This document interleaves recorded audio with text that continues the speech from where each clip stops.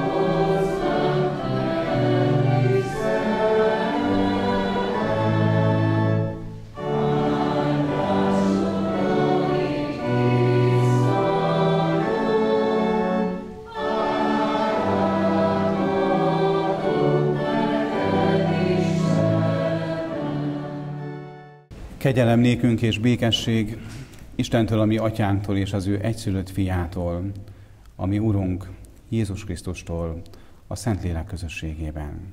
Sámuel második könyvének kilencedik fejezetében így szól hozzánk Isten kijelentése.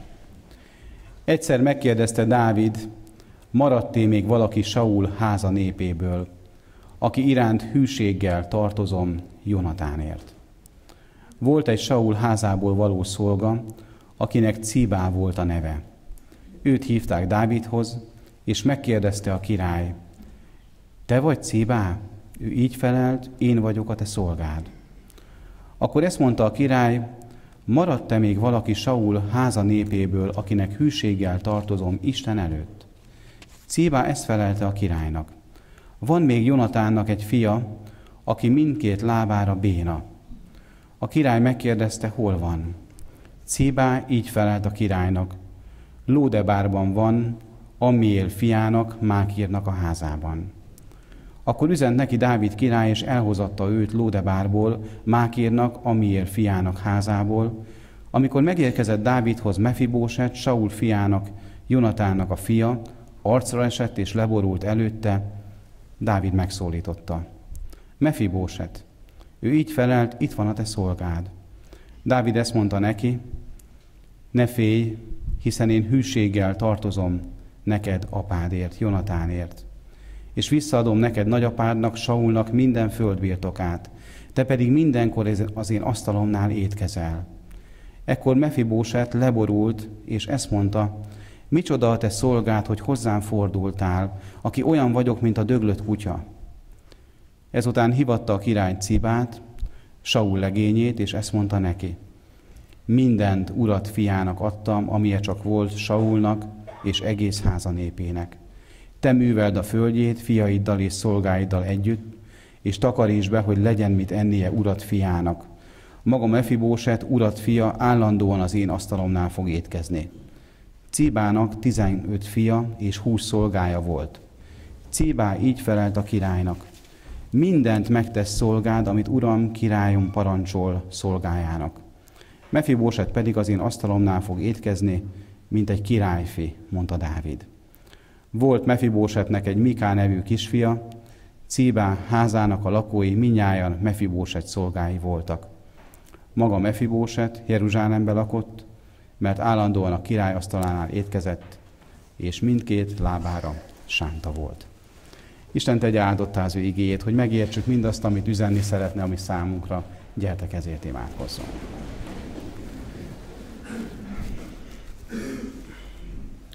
Menje édesatyán, köszönjük azt, hogy a Szentírás lapjain keresztül nem valamiféle vallásos ideológiát, hanem a Te üzenetedet olvashatjuk.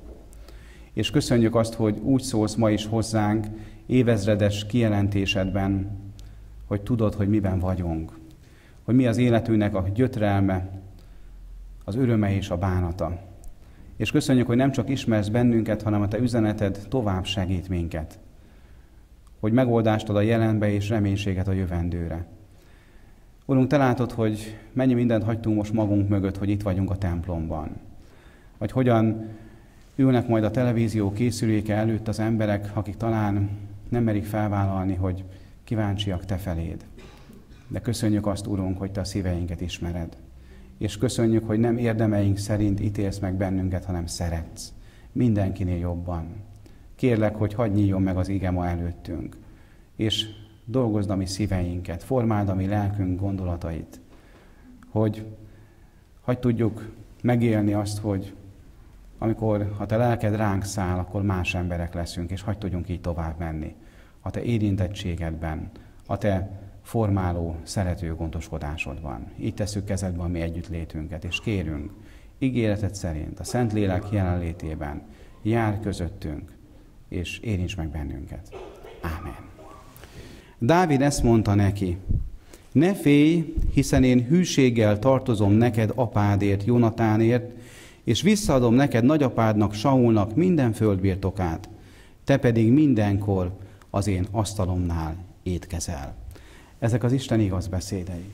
Az ég és a föld és benne, ami földi életünk elmúlnak, de az ő beszédei soha el nem múlnak. Kedves gyülekezet, egy nagyon-nagyon különleges történet a mai Ószövetségi napi, napi igénk. Mephiboset története a Szentírás Isten kegyelméről egyik legszebb tanítása az Ószövetségben. És nagyon sok ember ezt nem érti, és nem is érdekli. Hogy miért lennék én kegyelemre szorult ember, hiszen állandóan szeretjük magunkat hasonlítgatni, állandóan szeretünk jobb színben mutatkozni, és talán sokszor az istentelen világnak a viszonyításában, valamilyen felszínes vallásosságban is azt gondoljuk, hogy mi azért sokkal-sokkal jobbak vagyunk Isten személyében. Én arra szeretnék kérni mindenkit, hogy amikor ma Isten üzenetét halljátok, akár itt élőben, vagy akár a televízión keresztül majd, akkor ne a hasonlítgatásnak a hibájába essünk bele. Nagyon röviden három dologról szeretnék ma szólni közöttetek. Először arról, hogy Dávid megemlékezett Mefibósetról, és ez egy különlegesen szép dolog. Aztán arról, hogy hívta őt és bátorította, és végül arról, hogy mindent helyreállított. Isten ugyanezt teszi velünk. Megemlékezik rólunk, hív, keres, és azt szeretné, az életünk helyreálljon. Ahogyan kitalálta ő az életünket. Ahhoz, hogy ezt a történetet ismerjük, néhány dolgot szeretnék elmondani. Izrael népének a történetében a Szentírás belső bizonyságtétel alapján tudhatjuk azt, hogy meg kell értenünk és meg kell tanulni, ezt nagyon sokan nem értik, és nagyon sokan itt vétik el a saját maguk lelki életgyakorlatát, hogy Isten ezt a népet azért választotta, hogy a többi népnek például szolgáljon. Mert sokan mondhatják, mi közünk van nekünk a zsidók történetéhez. Nekünk adatott ez a nép példaként. Hosszú-hosszú időn keresztül egy jelentős történelmi korszakban Izraelt Isten embereinek az útmutatásai szerint vezették, ilyen emberek voltak a proféták, aztán az utolsó nagy bíra, Sámuel idejében, amikor már a környező népeknek a vonzása, istentelensége mindennél erősebben dominált, ilyen a mi világunk is egyébként, akkor azt mondták Sámuelnek, hogy mi is szeretnénk királyt. És Sámuel elmondja, a királyok majd sanyargatnak benneteket, nyúznak, ahol lehet, elveszik a lányaitokat, a feleségeiteket, de ők akkor is király szerettek volna. És aztán elindult a királyság kora. Az első király Izrael történetében Saul volt. Utána Dávid következett a trónon, majd később Salamon. Hát most még ennek az egésznek az elején vagyunk innen visszanézve évezredeket. Saul király választott király volt, de nagyon hamar belebukott a pozícióba, és mindig kísérti ez az embert. Akár a családi pozíciónkban is, a munkahelyen is, a rokonság között is. Ha az ember nem Istenre tekintve éri meg azt a helyet, ahol van, akkor nagyon-nagyon könnyen elcsúszik valahol. És aztán, ahogyan Sault Isten elvetette, jött egy fiatal legény, aki Istenre hagyatkozó, egyszerű, nagyon-nagyon sallangoktól mentes életet élt, és hirtelen nagy tekintélye lett. És Dávid, mert róla van szó, amíg Saul király élt, azt tapasztalta, hogy végig üldözöttségben volt. Mert Isten már kijelentette azt, hogy Dávid lesz az új király, de ezt Saul nem akarta elviselni. Hát nyilván nem, volt benne politikai féltékenység. És üldözte Saul az embereivel, sokszor ő maga is, Dávidot. Tehát egy ilyen gyilkos indulat feszült közöttük. De aztán azt is nagyon jól tudjuk, hogy Saulnak a fia, Jonatán egy életre szóló barátságot kötött Dáviddal. És aztán Saul és a fia, Dávid barátja, Jonatán a gilboai csatában a filiszteusok ellen meghalnak. És mindenki teljesen logikusan azt gondolhatná, hogy innentől kezdve Saul leszármazottjainak csúfos végük lesz. Hát, hogyha Saul üldözte Dávidot, meg akarta őt ölni, ahol lehetett, gáncsoskodott vele. Hát nyilván, amikor Dávid most már a hatalomra kerül, akik Saulhoz tartoztak, teljesen logikus, emberi különböző okoskodás nélkül is eljutunk oda, hogy hát nekik jobb, hogyha befolják a szájukat. És amikor az unokát, Saul unokáját, Mefibósetet a dajka menti, öt éves kisfiú, akkor elejti a dajka a menekülés közben, akinek a két lába lebénul. Mi köze volt Mefibósetnek, a nagyapjának a politikai féltékenységéhez? Milyen szomorú áldozat Mefibóset.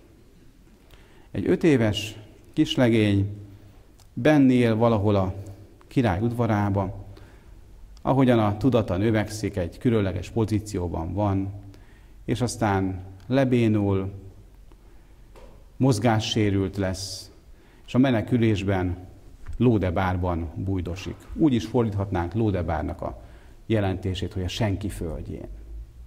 Mekkora nagy változás. Egy megnyomorított fiatal ember lesz Mefibóset.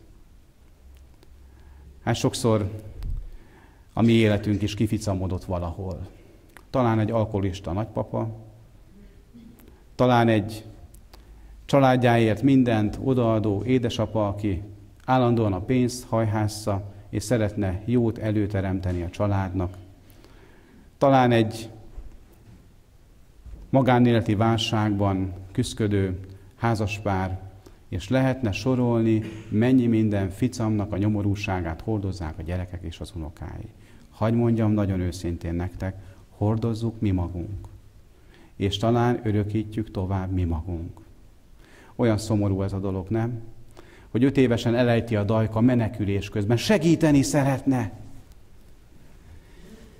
És aztán lebénul Mefibóset.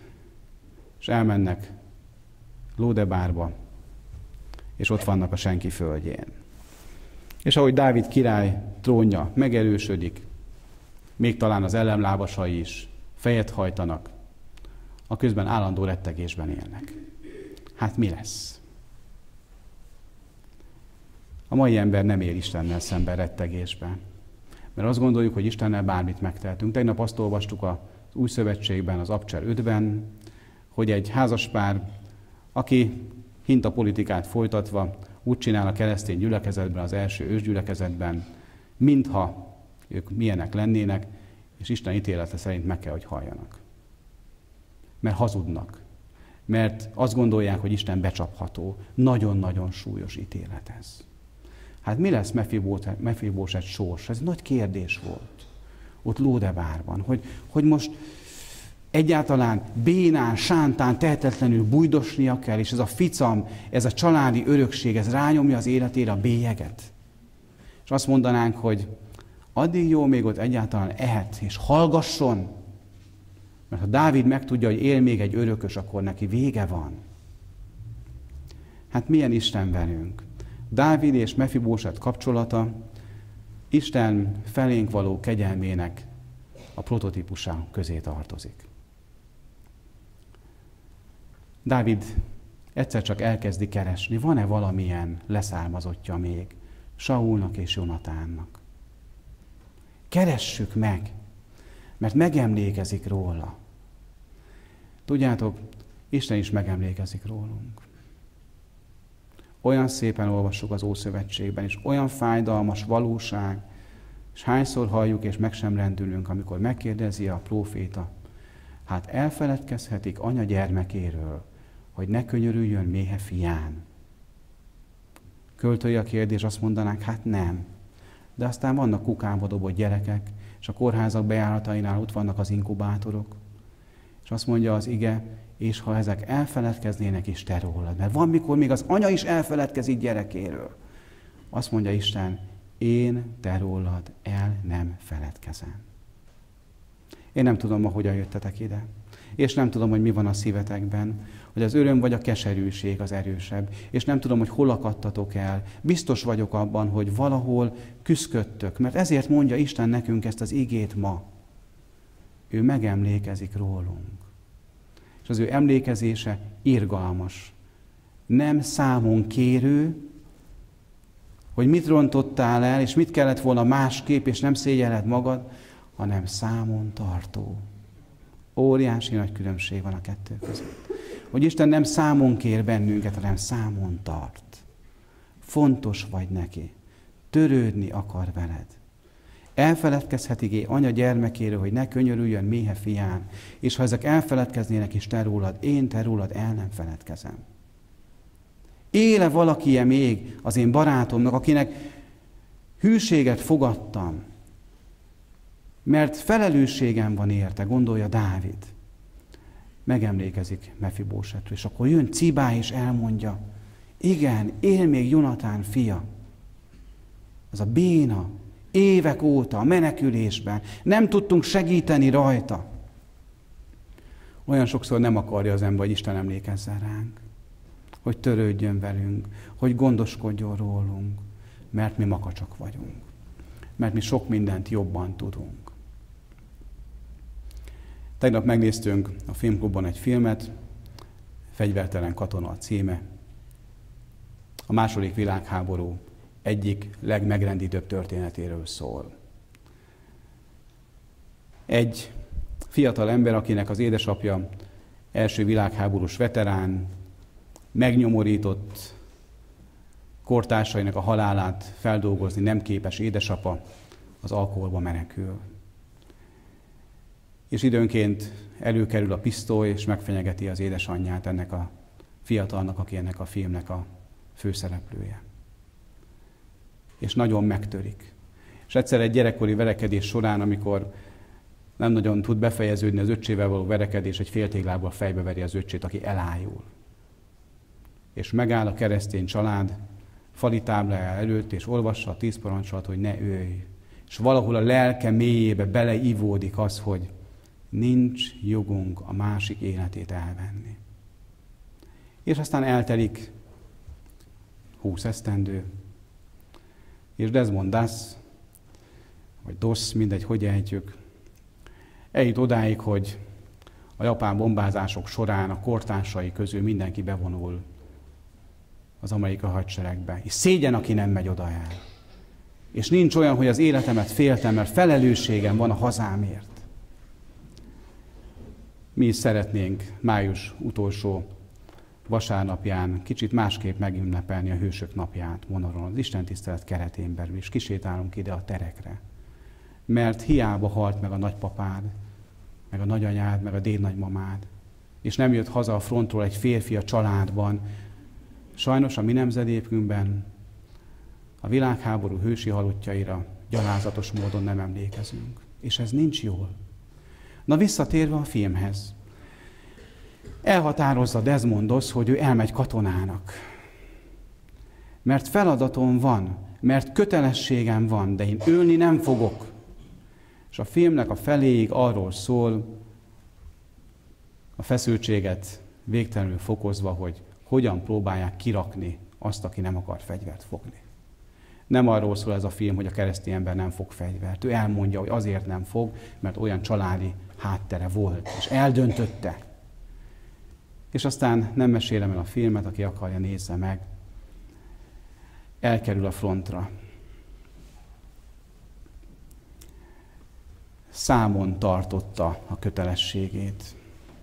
Sokszor nekünk azt se kell, hogy Isten számon tartson bennünket, mert annyira önfejű az ember, és ebből kifolyólag mi se tartjuk számon a mi kötelességeinket.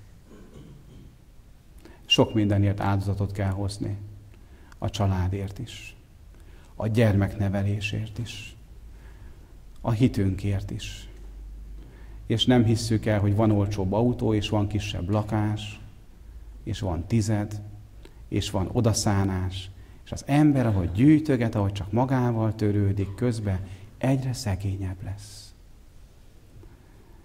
Isten megemlékezett, és keresteti, van-e valaki még Jonatánnak? Olyan szépen olvassuk Lukács evangéliumának 19. fejezetében, a 10. versben. Azért jött az embernek fia, hogy megkeresse és megtartsa az elveszettet. Olyan gyönyörű megfogalmazása. Jézus azért jött ebbe a világba, hogy megkeressen és megtartson, mert elveszettek vagyunk kificamodott, lelkileg is meggyökört Mefibóset, mennyire elveszett és mennyire megtartásra való volt. És az új szövetségben elmondja Lukács, nem papként, orvosként, hogy azért jött Jézus. Keres és kerestet ma is, és ebben a kerestetésben nektek is feladatotok van. Fegyvertelen katona, Okinawa, ostrománál egy nagy partfal mentén, miközben több mint száz honfitársa úgy tűnik elesett, ott marad egy éjszaka az ellenséges csapatok között, hogy kimentse az ő haldokló társait, több mint 70 embert. Ki akarták rúgni a hadseregből. És egyszer ezen az estén összeomlik, amikor látja leszagadt végtagokat, és látja az átlőtt fejeket, és a kortársainak a borzasztó halált, és azt mondja, nem értem, miért van ez. És Uram, mit akarsz? És akkor egy pillanatra azt mondja, most már értem, és nem elmenekül, hanem egy éjszakán keresztül menti a társait. Több mint 70 ember életét mentette meg. Nem volt ilyen történet a második világháború amerikai történetírásában. Mert tudta, hogy meg kell keresni a vergődő embert és Dávid is tudta. Van valaki, akkor segítenem kell. És amikor menti Desmond Das ebben a borzasztó háborúban a társait, akkor egyszer csak azt mondja, Uram, kérlek, csak még egyet hagy mentsek meg. Nem tudom, hogy bennetek bennetek van-e, és bennem bennem van, de ezért imádkozom. Hogy legyen bennünk, hogy Uram, csak még egyet hagy mentsek meg a családtagjaim közül. Mert itt vannak a kificamodott, tönkrement életek körülöttünk. És én hiszem, hogy Isten mindenható. És minden felül tud érni. És az emberi korlátainkat egyszer csak fölszabadítja. Ó, mennyi mefibóset van a környezetünkben. Akik lelkileg bénák és sánták. Csak egy lelket, egy életet hagy mentsek még meg. Aztán Dávid üzen hívja Mefibósetet. Bíztatja. Gondoljátok el, hogy aki menekültségben, szinte rejtőzködő bújdosásban él, mit gondol? A király szólít, és menni kell, mi lesz? Sokszor az ember is így van Istennel, amikor ő hív. Miért hívja egyáltalán Dávid Mefibósetet? Azért, mert annyira szerette a nagyapját, Sault? Nem mert tudta, hogy a barátjának a fia. Tudta, hogy Mefibóset kihez tartozik. És hogyha Jonatának a fia, nekem felelősségem van érte. Mi kihez tartozunk? Azt mondja az ige egy helyen, aki a fiú, azé az élet. Felvállaljuk ezt? Megéljük? Ráhagyatkozunk erre? Hogy mi Jézushoz tartozunk? Aki a fiú, azé az élet. Hívja őt és biztatja. Nem tudom, hogy mi volt Mefibósetben. Biztos tele volt szorongással. Mert amikor Isten hív bennünket, nem tudjuk, mi lesz, de egyet tudok, mennem kell. És ez is megrendített a tegnapi filmben, hogy Desmond Doss tudta, hogy mennem kell, akkor is, amikor a katonaságtól is ki akarnak rúgni. Mennem kell, mert Isten küld. És Isten megáldotta őt ott. Isten hív benneteket is. és aztán küld, és jön velünk a küldetésben, és feladatot ad nekünk. És harmadjára arról hagy szóljak nagyon röviden, hogy Dávid mindent helyreállít. Mit mond? Azt mondja, Saul minden földje, minden birtoka, Mefibóseté. És azt mondja Cibának, a te családoddal, a hozzátartozó néppel műveljétek, és Mefibósetnek az én asztalomnál lesz mindig helye. Mindent helyreállít. Úgy belegondoltam, hogy mit érezhetett az a dajka, aki elejtette ezt az öt éves kisfiút. És amikor látta, hogy nem bír lábra állni. Nem fogom elmondani családi történeteinket, mert sokszor már megelégelitek. Volt olyan, amikor az én hibámból egy-két órán keresztül azt feszített és szorított, most vajon a gyerekemet egy életre megnyomorítottam? Egy édesanyja telefonált nekem egy néhány héttel ezelőtt, és elmondta, Tamás bácsi, kórházban voltunk a gyerekekkel. Én voltam a hibás. És mondtam, nem tudunk úgy vigyázni rájuk, ahogy szeretnénk. Nem tudunk. Az édesanyánkra se tudunk úgy vigyázni, ahogy szeretnénk. A házastársunkra se tudunk úgy vigyázni, ahogy szeretnénk. Nem a dajka volt a hibás, segíteni szeretett volna, de kificamodott, tönkrement, lebénult az élete ennek az öt éves gyereknek. Olyan borzasztó ez, nem? És Dávid, aki megemlékezik, mert Isten embere, még ha el is bukik utána, majd erről az Isten tisztelet után szólok egy előadásban. Akkor is Isten az övének tartotta. És helyreállít mindent. Sok minden miatt ficamodhatott ki az életünk. Talán a saját magunk rossz döntései miatt. Ne gondoljátok azt, hogy Isten azt mondja, amit főztél, azt teszel. Engem nem érdekel. Nem. Isten keres és szeretni akar. Hagyjuk-e, hogy szeressen? Ott ül Mefibóset élete további szakaszában a királynál. Pedig egyszer azt mondta, amikor gúnyolták Dávid, amikor azt hányták a fejére, te olyan szerencsétlen uralkodó vagy, meg harcos, a sánták, a bénák is le tudnak győzni. És azt mondta Dávid, ebbe a városba, ha én hatalmon leszek, sánta meg béna, be se teszi a lábát. Hányszor mondtunk már mi valamit makacs módon. És aztán kirott az asztalánál. A legjobb barátja, Béna fia. És nem hiszem, hogy megbánta volna. És nem mondta azt, hogy hát én tettem egy fogadalmat, és ezt nem vonhatom vissza. Hányszor ilyen az ember? Valami bolondságot megígér, és nincs az a bátorság, hogy azt mondja, hát nem vagyok normális. Keresztel János így halt meg. Hogy Heródes azt mondta, szexuális felajzottságám. Kérj, amit akarsz, és mindent megadok neked, és lefejeztette keresztelő János. Mert Salomé ezt kérte.